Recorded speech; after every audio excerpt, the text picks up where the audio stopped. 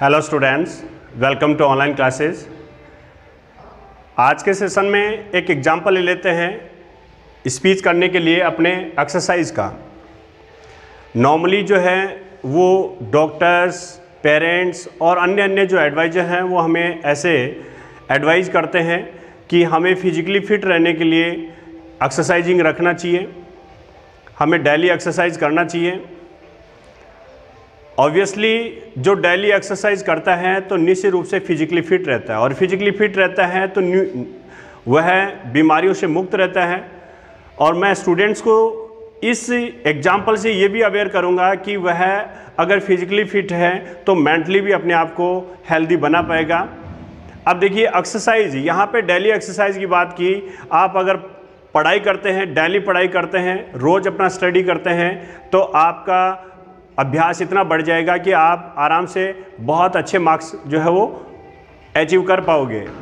ठीक वैसे ही हम एक स्पीच करेंगे ऐसा कि आपको एक ऐसा मंच के माध्यम से एक भाषण देना है कि जो डेली एक्सरसाइज है, उसका बहुत बड़ा एक इम्पोर्टेंस होता है। तो हम इसके इम्पोर्टेंस के लिए क्वेश्चन लेकर आएँ। ये क्वेश्चन देखना ये क्वेश्चन रखा कि Anand is advise by the doctor Anand को डॉक्टर ने सलाह दी to take regular exercise is regular exercise के लिए ही decide to go to a health club उसे हेल्थ क्लब जाने उसने हेल्थ क्लब जाने का निश्चय किया, वह निश्चय करता है। आफ्टर फ्यू मंथ्स और कुछ महीने के पश्चात ही फील्स फिट वह अच्छा महसूस करता है एंड फाइंड्स हिमसेल्फ ड्रीम और अपने आप को बहुत ही जोशीला, उत्साहित महसूस करता है। Write a speech to be delivered आपको एक स्पीच है, वो डिलीवर्ड करना है to his friends and colleagues अपने मित्र दोस्तों को, अपने साथियों को एक ऐसा स्पीच डिलीवर्ड करना है on the importance of exercise तो आपको स्टूडेंट्स ये मिला होगा कि यहाँ पे टाइटल क्या है? इम्पोर्टेंस ऑफ़ एक्सरसाइज है। तो इम्पोर्टेंस ऑफ़ एक्सरसाइज ये इसका टाइटल बन गया and remaining physically fit write a speech in your answer sheet अपने आंसर सीट पे एक स्पीच बनाइए in not more than one two zero यानी वन हंड्रेड ट्वेंटी वर्ड्स तो इस तरह से आपको एक स्पीच बनाने के लिए यहाँ पर ये सजेस्ट कर रहा है। अब आपको यहाँ पे टाइटल तो पता चली गया होगा कि इम्पोर्टेंस ऑफ़ एक्सरसाइजेज यहाँ पे इसका टाइटल रख लेते हैं।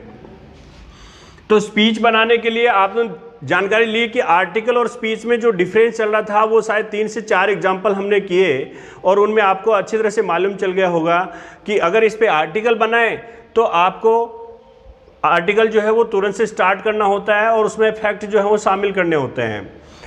जिसमें एक डीप या कोई ऐसा जो है वो लाइन देना होता है और बाकी जो है वो आर्टिकल जो है वो किसी तरह से एड्रेसिंग करने का ऐसा कोई झंझट नहीं होता। इसमें क्या होता है? स्पीच करने में ऑडियंस को ध्यान में रख करके जो है वो अपना प्रेजेंट स्टेट है। उनका जो अट्रैक्शन है वो होल्ड रखने के लिए हमें बहुत अच्छे ढंग से बोलना होता है। तो यहाँ पे आपको बोलना नहीं, बल्कि लिखना आंसर सीट पे कि एक भाषण कैसे तैयार करें। तो सबसे पहले क्या लोगे? यहाँ पे आपने टाइटल डाल दिया इम्पोर्टेंस इम्पोर्टेंस ऑफ़ एक्सरसाइज ये आपने यहाँ पे क्या कर दिया? टाइटल डाल दिया कि एक्सरसाइजेज का जो है वो इम्पोर्टेंस है। फिर आपने यहाँ पे क्या किया? इस तरह से एड्रेस किया। जैसे ये कह रहा है कि किसको आपको डिलीवर्ड करना है तो फ्रेंड्स को करना है कलीग्स को करना है। इसका मतलब निश्चित रूप से ये कहीं जो आप एक पैटर्न ले रहे थे रिस्पेक्टेड प्रिंसिपल टीचर्स ये ये वाला छोड़िए। आपको यहाँ पे कहा कि write speech to be delivered friends and colleagues है। तो निश्चित रूप से यहाँ पे आप ले लीजिए कि आप किसको कहोगे? आप अपने फ्रेंड्स को कहोगे। तो आप यहाँ पे जो है वो स्टार्ट कर सकते हो ऐसे कि my dear my dear friends and ऐसे जो आपने अपने कक्षा, अपने सॉरी अपने साथी जो भी हैं, कर्मिक जो साथी हैं तो कलेक्स के लिए लिया। ऐसे आपने कह दिया।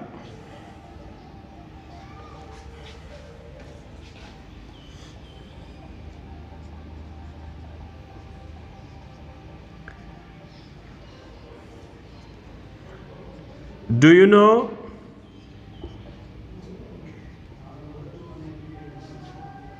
या ऐसे आप एक बिगिनिंग लाइन ऐसे दे दीजिए।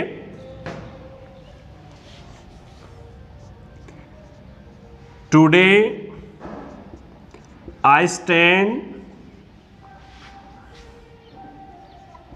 before you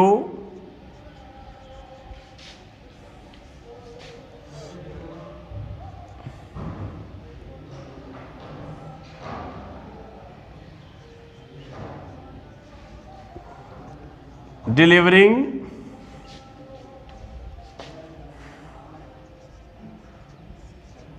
a speech on on the importance of daily exercises तो ऐसे आप यहाँ पे एक्सरसाइजेज की बात करोगे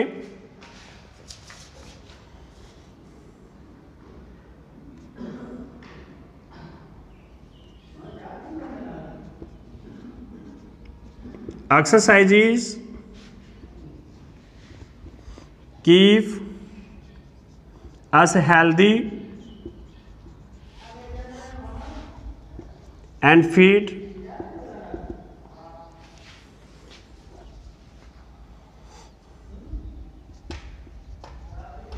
You know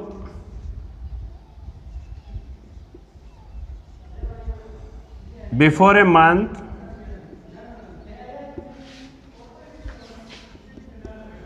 I was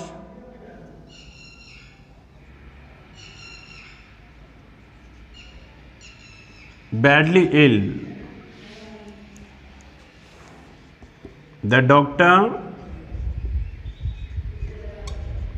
advised me the doctor advised me to do daily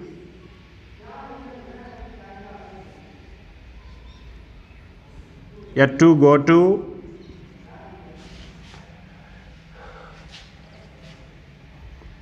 a health club.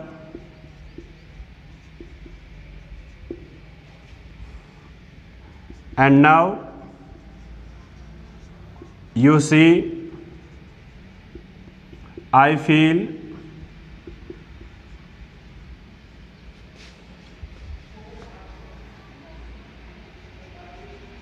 healthy and fit.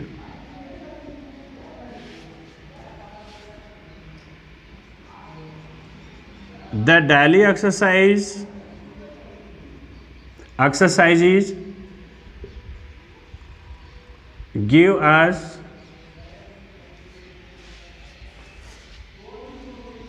new energy new energy for daily work इस तरह से अपने भाषण को, अपने स्पीच को आगे बढ़ाते जाइए, आगे अपने पैराग्राफ बनाते जाइए और पैराग्राफ बना बना करके आप जो है, वो एक्सरसाइज के संबंध में ऐसे इंपॉर्टेंस बताते जाइए कि किस तरह से हमारा ब्लड जो है, वो एकदम प्योरीफाई रहता है, किस तरह से हमारे जो ऑर्गन्स हैं, वो फिट रहते हैं। ये सब बातें आप इसके माध्यम से बताते जाइए। जैसे हम डेली एक्सरसाइजेज करते हैं तो कितनी सारी बीमारियों से मुक्त रहेंगे और इससे हम मेंटली भी हेल्दी रहेंगे। यानी ओवरऑल हेल्थ के लिए ये बहुत ज़रूरी है, ये सब बताते जाओ।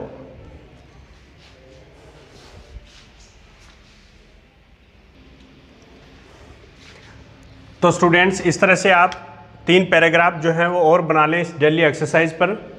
देखो कैसे आप तैयार कर सकते हैं। यहाँ पे हमने लिखा कि it is said that a healthy mind remains in a healthy body जैसा कि ये स्टेटमेंट बताया जाता है कि स्वस्थ शरीर में स्वस्थ मन जो है, वो पाया जाता है। It is said that a healthy mind remains in a healthy body जब शरीर स्वस्थ है तो उसका मन जो है, वो माइंड मस्तिष्क है, वो स्वस्थ होता है।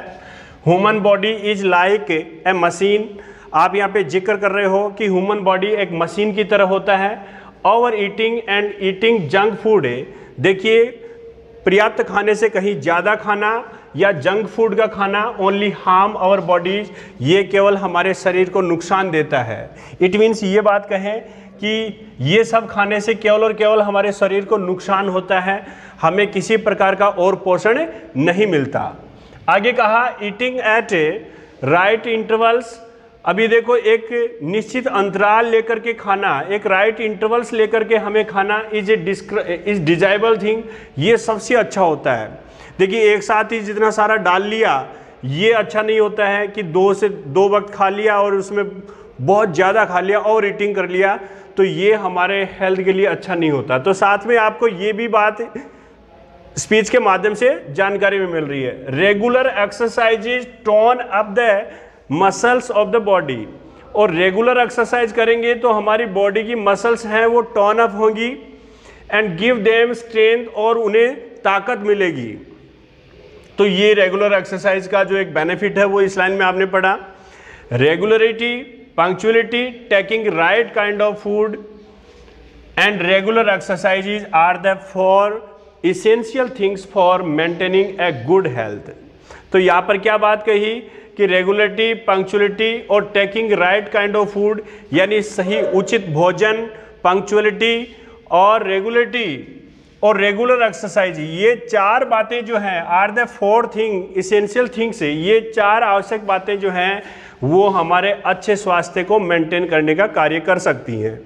तो यहाँ पे ये चार काइंड्स दिए कि आप रेगुलरिटी रखेंगे पंक्चुअलिटी रखेंगे और इसी के साथ में एक सही भोजन की उचित मात्रा या सही प्रकार जो आप चुनेंगे और रेगुलर एक्सरसाइज करेंगे दैट फोर काइंड्स या four things maintain our good health so it is our duty इसलिए यह हमारी ड्यूटी होगी to keep the human machine well in order and going इसलिए ये हमारा ड्यूटी है कि हम अपने इस ह्यूमन मशीन को बहुत अच्छी तरह से जो है वो कायम रखेंगे, उसे ठीक व्यवस्थित रखेंगे।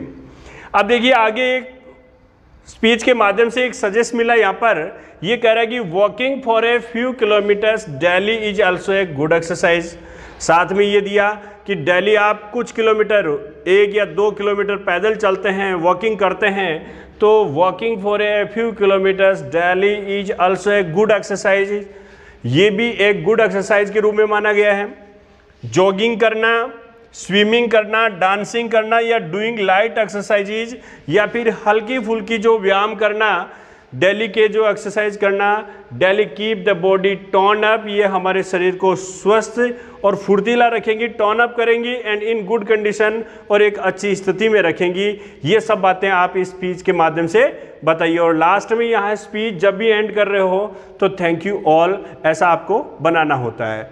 तो स्टूडेंट्स ऐसे हम जो भी जिस मुद्दे पर या जिस एक थीम पर, जिस आइडियाज़ पे, जिस टाइटल पे हमें एक स्पीच लिखना होता है स्पीच बनाना होता है अपने आंसर शीट पे तो उसे तीन से चार पैराग्राफ दे करके आप ठीक से डिज़ाइन कर सकते हो। Okay thank you